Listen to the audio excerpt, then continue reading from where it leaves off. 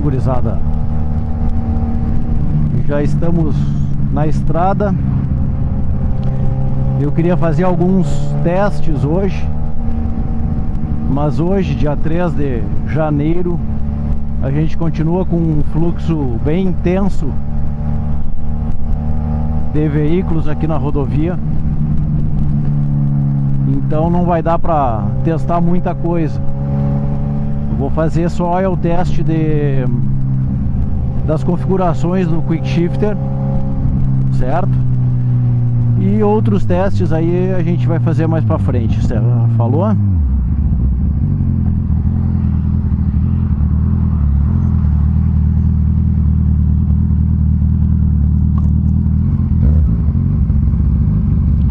Então agora a gente está no modo 2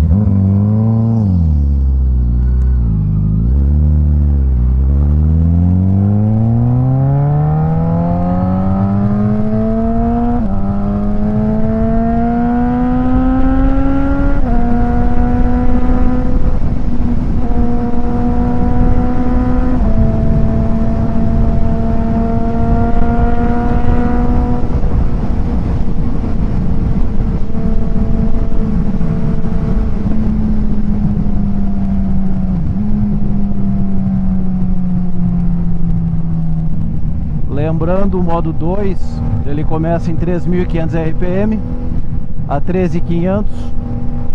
Não vou conseguir levantar muito giro porque o trânsito está bem intenso.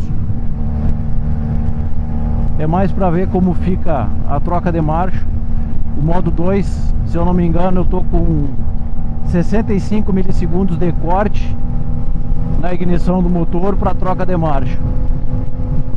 Com 75 com 70% de sensibilidade no pedal de câmbio.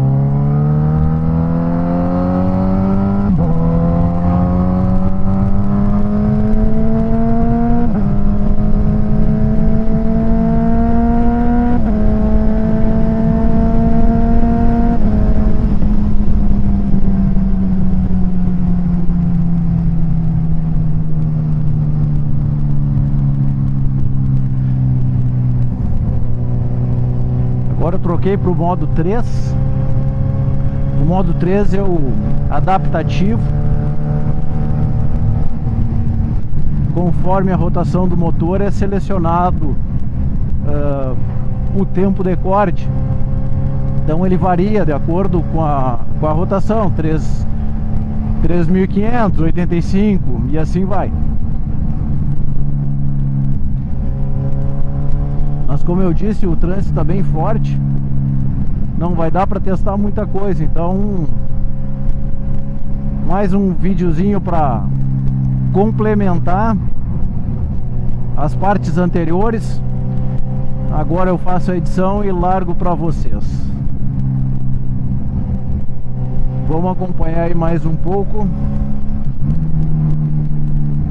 E outro, eu tô de garupa hoje de novo. Meu filho Vicenzo tá me acompanhando aqui na, na estrada para sentir um pouquinho do, do motorzinho da ruiva. Ó, baixa rotação tu nem sente a troca de marcha. Em alta rotação ela fica um pouco mais agressiva.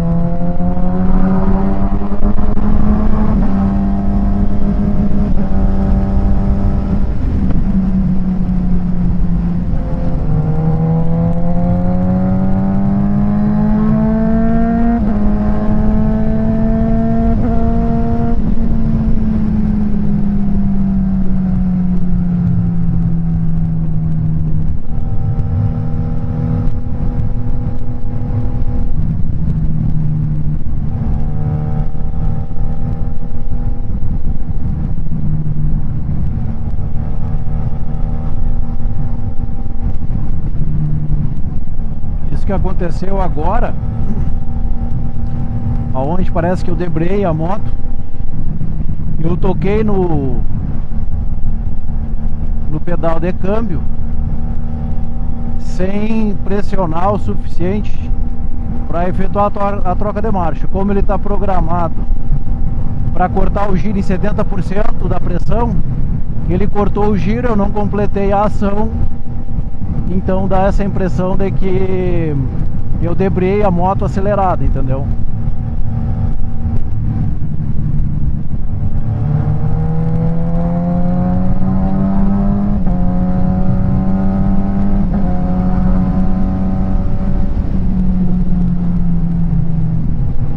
Uma das coisas que eu notei é que tanto pressionando para cima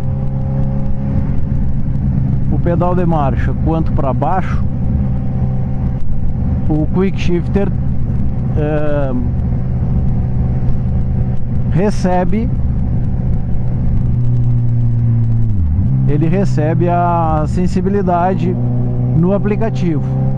Ou seja se eu quiser trocar para baixo a princípio né vamos verificar mais a fundo essa essa questão mas se eu quiser trocar para baixo eu troco ele corta. Se eu quiser trocar para cima, ele corta também. Então eu não sei se se é se é algo saudável, digamos assim, para motor e para o próprio quick shifter fazer a troca de marcha na redução.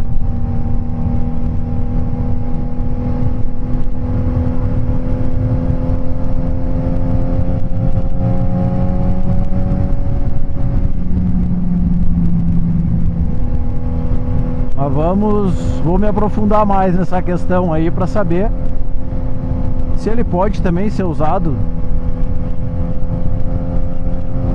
tanto para baixo quanto para cima.